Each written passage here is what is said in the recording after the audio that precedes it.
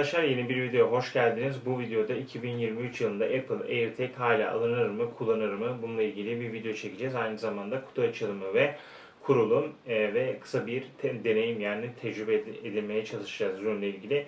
Biliyorsunuz ki Apple AirTag yaklaşık 2 sene önce 2021 yılında tanıtılmıştı ve aslında bayağı da tutuldu yani satıldı. O zaman ilk tanıtıldığı zaman fiyat olarak 200-250 TL gibi bir fiyat vardı. Hani alınır mı alınmaz diye konuşuluyordu. Şu ansa fiyatı maalesef 600-700 TL bandında seyrediyor. Dolar kurunun artışından dolayı da hala aynı ürün. 2021'deki ürün hala aynı şekilde çıkıyor. Herhangi bir geliştirme veya Apple AirTag 2 diye bir ürün çıkmadı. Büyük ihtimalle böyle uzun bir süre devam eder. Ve yine tabii ki bir ikinci seri çıkacağını düşünüyorum. Çünkü bazı eksiklikler var. Onlardan da bahsedeceğiz zaten. Arkadaşlar mesela diyelim ki öncelikle kutu açılımına geçmeden önce hem ürün özelliklerinden de bahsedeceğiz hem de yani bu ürünü neden alabilirim veya niçin e, almam almalıyım diyelim. Bu ürün arkadaşlar özellikle diyelim ki e, ofis e, olarak masa başı işi olarak çalışıyorsunuz veya dışarı çıktığınız e, akıllı telefonunuzun olduğu veya bilgisayarınızın olduğu çantanız var. Diyelim ki Apple bilgisayarınız var. Maalesef ki hem akıllı telefonlar hem bilgisayarlar artık çok pahalı. Böyle iyi bir bilgisayar almaya kalksanız 20-25 bin TL fiyat bandında. Diyelim ki çantanıza bunu yanınıza taşıyorsunuz. Bir yerde kaybettiniz veya unuttunuz.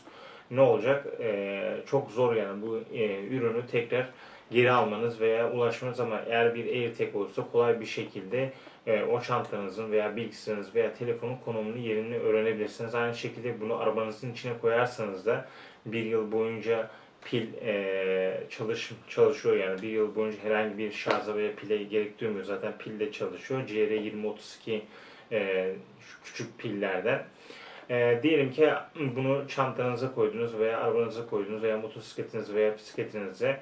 Bu ürünler de maalesef pahalı. Artık arabalara da ulaşılmayacak seviyede kadar pahalı olduğu için motosikletler de pahalı olduğu için elektrikli bisiklet var. Bunlar da pahalı. Bu ürünleri kaybetmek veya çalınması gibi bir durumda büyük ihtimalle o uzun bir süre çalışarak aldığınız ürün kaybetmiş olacaksınız. Ama bu ürünü koyduğunuz zaman e, aynı şekilde yakınlardaki bir Apple telefon olabilir, e, iPad olabilir veya Mac olabilir bilgisayar Apple size hemen o ürünün konumunu bildiriyor. Hatta şöyle bir haber okumuştum. Amerika'da çalınan paralar, bankadan çalınan paraların içine AirTag konulduğu için çalınan paraların yerleri bulunmuş ve e, tekrar e, hırsızlar da yakalanmış oldu. Yani Apple bu konuda gerçekten başarılı. Yani çok işlevsel e, akıllı saatler olsun, bilgisayarlar olsun, telefonlar olsun bu konuda çok uzman olduğunu söyleyebilirim. Gelin hep beraber ürünün kutu açılımı ve kurulumunu yapalım. Daha sonra videoya devam edelim. Arkadaşlar şöyle e, aslında biz hani 2023 yılında Apple AirTag alınır mı diye başlığımıza atmıştık. Şöyle göstermiş olayım. Gördüğünüz gibi Apple'ın standart beyaz e, kutusu yani tüm ürünlerinde genelde aksesuar ürünlerinde kullandığı beyaz bir ürün gördüğünüz gibi. Hemen e, kutudan ürünü çıkaralım.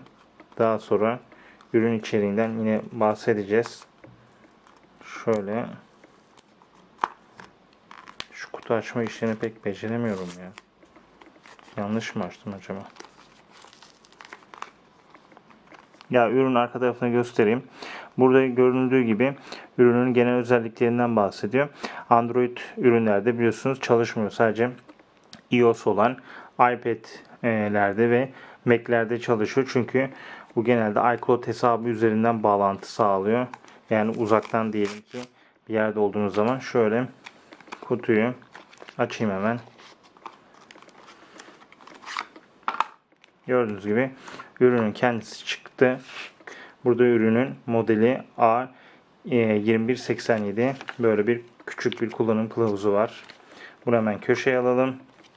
Daha sonra ürünle ilgili burada genel bilgilere yer verilmiş. Şu şekilde gördüğünüz gibi bir e, en son iOS veya iPadOS sürümüne güncelleyin. Bluetooth açın. Sonra şeridi çekin. E, aygıtın yakınında tutun ve ekrandaki talimatları takip edin. Şu şekilde düğme gibi bir yapısı var ürünün kendisi. Şöyle göstermiş olayım.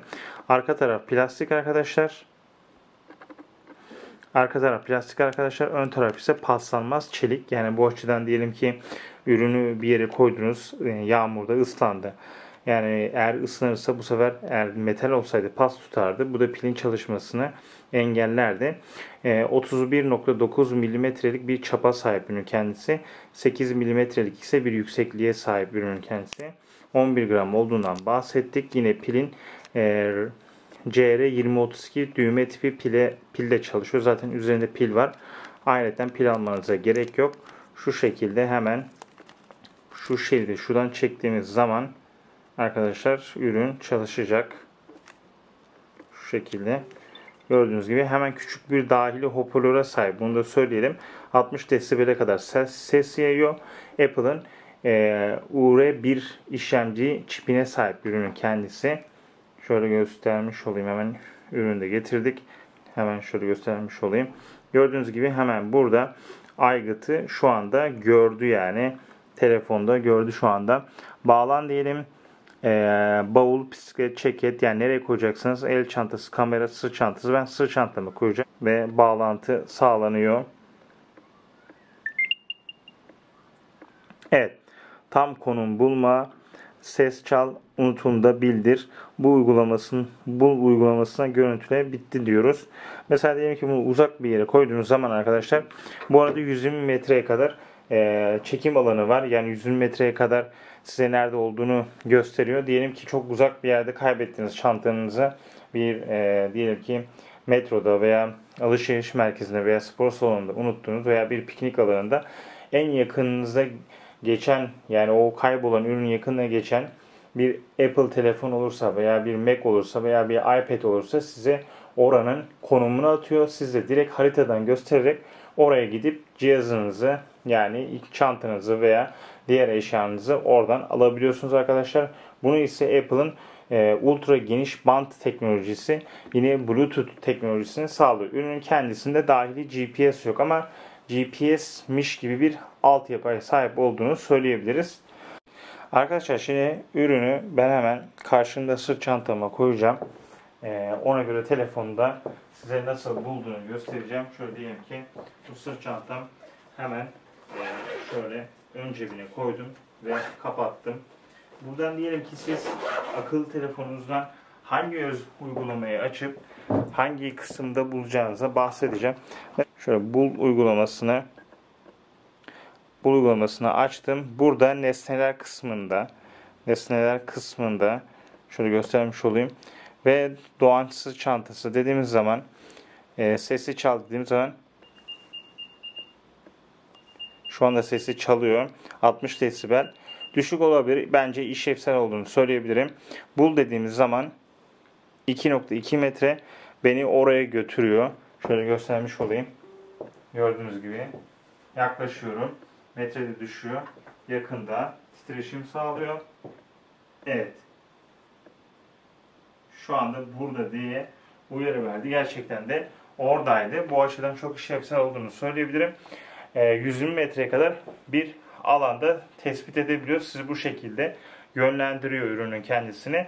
Ama siz başka bir yerde unutursanız yakında bir Apple cihaz ve tablet veya bilgisayar olursa direkt size oranın konumunu paylaşıyor. Onu da iCloud üzerinden bildirim gönderiyor. Onu da söylemiş olalım arkadaşlar.